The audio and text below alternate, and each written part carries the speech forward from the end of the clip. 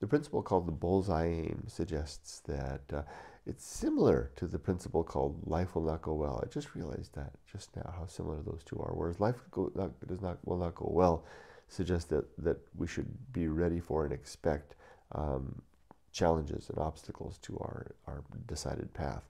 The bullseye aim basically says the same damn thing. Hmm. Just realized that, that I've got two principles that basically say the same message. Therefore, do I need both of them? Although up until now they've kind of served a different meaning. The bullseye aim is more visual. Oh, gosh, they, they, it's kind of reinforcing the same thing twice. The bullseye aim says that that when we have, you know, they do a little bit differently. They're they're saying the same species of message, but in a different way. The bullseye aim says that we should expect to shoot for a particular mark, but just like playing darts, it's it's the exception when we hit the bullseye. We're pleased if we get anywhere close by. We don't get upset if we're not close because we know that it's unreasonable to always expect to hit the bullseye, just like it would be. I could call this principle getting a, you know, the strike in bowling. It's unreasonable to expect to strike every time. We're delighted when we have a strike, and we're we're pleased in uh, diminishing uh, with diminishing returns. The more, the better the quality of the of the strike of the number of pins that go down. Likewise, the closer we are to the mark on the on the darts. That's how life should be treated as well. I have an idea about how I'm going to do something, and then I, I expect, you know, differential results. And I'm delighted when it turns out the way I expect. Hmm. So then life will not go well. Should I keep that one or the other one? Should I keep them both?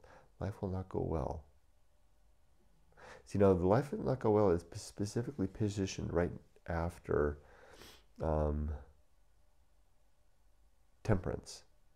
And I did that deliberately because I'm saying, okay, we should, we should, hmm. And likewise, the bullseye aim is positioned right after the, the principle called script writing. Temperance suggests being able to control our, just like I did yesterday as I fell down, controlling our reaction when life doesn't go well. That's exactly what happened yesterday. So let's let's take that case study. Temperance was what I did in the moment as I was falling and preparing to, to, to get injured, and I was reminding myself, be ready to handle this in a, in a tempered manner, so to speak. I didn't think script writing, bullseye, aim. Script writing was the planning that I do. See, that's that's the difference. Temperance and life will not go well are tools in the immediate moment. They're actually action, things that are happening when I'm not script writing. Script writing is what I do when I'm planning for substantial events. Like, let's say I have a big meeting at work and I'm going to do a big presentation. I'll script write how I want that to go. I'll come up with an agenda, of course, for the meeting.